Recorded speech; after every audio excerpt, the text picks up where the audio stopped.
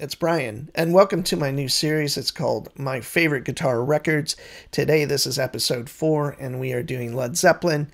And like I say in all the previous videos, the only caveat to some of these is it's what I actually have a physical copy of to be on my list. Some are in, you know, my number one through number five, whatever, or five to one, and some, like this one, uh, I may name my number one, but the rest may be just my favorites. And like I said, uh, with Led Zeppelin, with a catalog of basically nine to ten records, depending on how you look at it, um, there's not a lot to choose from if you're doing a top five. But I definitely have my favorites.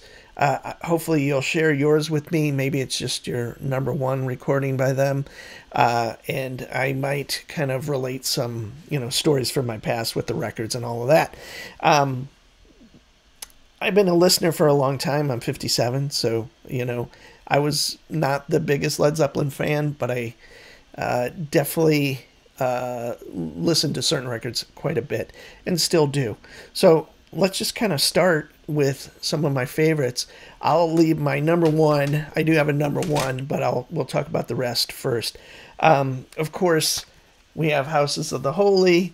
Uh, so many great songs on it. I, I have to say the one I don't necessarily love the most is the song remains the same, but we have the amazing Rain song, uh, the grunge or crunge, however you pronounce that. Dancing Days I love. D'yer Mak'er, uh, No Quarter is one of my favorites, uh, and The Ocean. So just an incredible record. And talking about Jimmy Page and this band, um, I often talk about for me the most cornerstone bands uh, for me in rock music uh, are these really creative bands like uh, Led Zeppelin. I always talk about them, Black Sabbath, uh, King Crimson. But I guess I think I would narrow it down to two, and that's Led Zeppelin and Black Sabbath. And I always think about if one of them was not present in the forming of that band, they would probably it wouldn't have worked. It wouldn't have happened. So I always think about Led Zeppelin and Black Sabbath like that. So uh, another great Led Zeppelin record. Uh, and again, this is what I have, so this might not be in my top five, but here you have it. Uh, of course, we have Presence, and we have Achilles' Last Stand. That's an incredible song. Um, Nobody's Fault But Mine, an incredible piece of music. I love that. And uh, some other stuff that isn't as good, but kind of a cool record. Um, I like it slightly better than In Through the Outdoor, which I do have a copy of that, so that would have been in here if I didn't have Presence. But the two or three songs that are on Presence that are good are to me are like some of their best. So, um, and we'll move on to three. Um, you know, I don't really care for the first two a lot. There's some great pieces on it. I love um, uh, communication breakdown and a few of those, and um, a few other pieces on there. But anyway, uh, it kind of for me, it starts at three, and four has some great stuff on it as well. But again, um, I'm throwing this in. Uh, Immigrant Song, iconic song, incredibly cool song. There's some great talk about how was, you know, some of the echoes in the song were from a previous take or something like that. Kind of some cool stuff, uh, vocally speaking. So, Friends, Celebration Day, eh, that's okay. Uh, Since I've Been Loving You, an incredible, great blues ballad. Lots of cool changes, great guitar playing. Out on the Tiles, of course. Gallows Pole's a big hit for me. Tangerine, incredible. That's the Way, I love that song. Uh, Bron-Y-Aur Stomp, for some reason, I blank out on that. And uh, hats off to Roy Harper. Um, are, I think, acoustic pieces, if I remember correctly. I always kind of skip those. So, not my perfect Led Zeppelin album, but pretty damn close. Uh, and for lack of, you know, it's not new material, but I really, really enjoyed this one. Um, the one caveat, it's like I thought it was an incredible performance, and they have such a cool uh, um, set list. The only thing that bugs me out, bugs me about it, is that Jimmy Page's guitar has like this kind of flanging chorusing thing on a lot of it. And um, if you know what I'm talking about, please chime in. Um, and it just takes away from it because it's such a great performance. And to hear him playing live again and all of that. Uh, although this was 2007, so we're talking about quite a few years ago, almost 20 years ago. Uh, they were playing incredibly well, and um, I really, really enjoy it. The set list, you know, um, in my time of dying, trampled underfoot, nobody's fault but mine, no quarter, all those are incredible. Since I've been loving you, Dazed and Confused was the one I was trying to think of from the first or second album that I really love. Stairway to Heaven, eh, you know, song remains the same. That's kind of fun. Kashmir, of course. Uh, rock and roll, I could never hear that song again and be okay. Good time, good times, bad times. I think that's what I I really like that song quite a bit. Ramble on, cool. Black Dog is another one, almost like rock and roll. Like I've just heard it so many times that I could do without it, but it's such a cool, unique guitar piece, you know, like the riff and all of that are are really cool and kind of tricky to play. Um, so yeah, in my time of dying, uh, again, it's this is out the DVD, I guess. So the DVD is culminated from you know the best of it. Um, it's been a while since I've watched this, but I'm gonna watch it again. Really love it. Like I said, the only exception is kind of that uh, kind of phasing or uh, flanging on the guitar that would seem to be in my mind on every song. And I was like, cool, it's great on a few songs, but they just seem to, you know, permeate the thing, the whole record and the DVD. So I need to watch it again.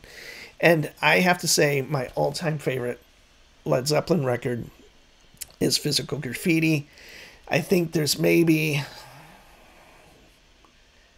two songs that I just skip and maybe more because I've been listening to. This is the one, uh, along with uh, uh, Houses of the Holy, that since I've been 12 or whatever, I've listened to a million times. So, but this one, as I was growing past some of that stuff, I kind of, this was the first one I personally listened to. My parents listened to uh, Song Remains the Same and Houses of the Holy and all of that a lot. So I heard it and I knew it. But this is the first one I kind of claimed as like my favorite Led Zeppelin record. And it still is to this day. I mean, we have Custard Pie, The Rover, In My Time of Dying. I love that song. Houses of the Holy, Trampled Underfoot, Kashmir. I still love that song, even though it's been, you know, I heard it a million times. In the Light, I really like that. Bron-Y-Aur Stomp, I, I think if it's it's another acoustic thing. I dig that. Down by the Seaside's kind of a weird ballad, but I I kind of dig that. Ten Years Gone, Night Flight, the Wanton song, all of those are great. Uh, Boogie with Stew, I could never. I wish they would have just taken that off. Black Country Woman, I'm kind of blanking on because that's probably one I skip quite a bit. And then Sick Again, I love that. So, uh, my favorite Led Zeppelin record. Uh, and and I'll speak to his guitar playing. I think he Jimmy Page is and was one of the most creative rock guitar players of all time, because not only uh, did he have this sophisticated songwriting, you know, but it was this whole creative process. Like the studio was like um, uh, how you would approach, you know, painting or something. Like they used a lot of things for atmosphere uh, starting with the Beatles that would kind of build on stuff and make these incredible pieces of music. And it doesn't hurt that Led Zeppelin, each individual is an incredible player. John Paul Jones is a highly underrated, although a very much beloved bass player, keyboard player, musician. He just, I sometimes marvel at how perfect some of the bass playing is, and I've said this before, but. Um, so I think Jimmy Page, you know, people say that uh, or I've heard through my whole time of liking him, talking about his sloppiness, and I'm like, no, I mean, I don't know. I've heard a lot of amazingly perfect guitar players, and I wouldn't listen to 10 seconds of their music. And um, I definitely see the place for incredible guitar playing that's super clean and articulated. But I'm just saying, like, for me as a musician first, almost, and a guitar player second, I just want to hear great pieces of music, whether it's you know a jazz quartet, rock band, metal, progressive rock, whatever you, however you want to put it. But um, as far as a guitar player, I think he's unparalleled in his creativity on these records. You know, Led Zeppelin, uh, starting with number three. the first two, they're semi derivative, but still, you know, really important records for sure. So uh, I just think Jimmy Page is, you know, not someone that influenced me, but as a listener, as a music lover, yeah, I mean, I've never been so immersed in records. Way more for me than like Pink Floyd, let's say. I'm, I'm trying to think of equivalents as far as popularity and record sales. And I, I like Pink Floyd quite a bit, and I think that band's incredible too. Uh, they are another band, I guess I said, if one of those components, meaning one of the players, wasn't there, you wouldn't have Pink Floyd. You'd have something else. It might be good, but it wouldn't be Pink Floyd, and it wouldn't be as great. So, um, I might have to do Pink Floyd, but I, to be honest, I don't think I own any of their CDs, and I thought the whole premise for this was just to do what I own. So I've kind of drawn on too far, but please mention your favorite uh, Led Zeppelin record, or what you think of Jimmy Page, or what you think of John Paul Jones, or anything, and I'd really, really appreciate that.